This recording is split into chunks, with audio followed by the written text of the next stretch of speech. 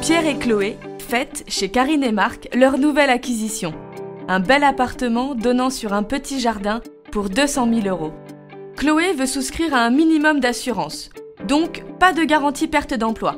On paye toujours trop d'assurances qui ne sont pas utiles, répète-t-elle. Marc lui explique qu'il aurait bien aimé avoir la garantie perte d'emploi quand il s'était fait licencier. Continuer à rembourser leur crédit pendant son chômage avait été très dur.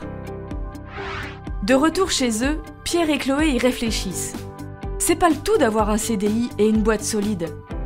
Mais si elle délocalise sa production, si elle se fait racheter, vu le chômage, il faut admettre que personne n'est à l'abri. Le lendemain, avec leur conseiller du Crédit Agricole, ils s'informent à fond sur la garantie perte d'emploi. Si l'un des deux se retrouve au chômage suite à un licenciement, la moitié des mensualités du crédit serait remboursée pendant 12 mois. Largement de quoi avoir le temps de se retourner. Et cela fonctionne même si on se retrouve à nouveau au chômage. Jusqu'à 4 fois pendant la durée du contrat. C'est un risque à vraiment considérer. Les crédits immobiliers engagent sur de très longues durées et on ne peut souscrire la garantie perte d'emploi qu'au moment de signer son prêt. Il ne faut pas se tromper. Les autres assureurs facturent plus cher la perte d'emploi, alors que le Crédit Agricole propose un taux parmi les plus bas du marché. Comment être sûr d'être indemnisé en cas de problème demande Chloé.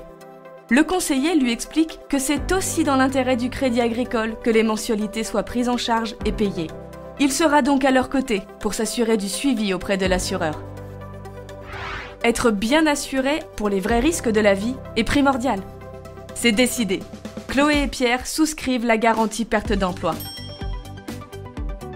Vous aussi, réfléchissez-y et parlez-en à votre conseiller.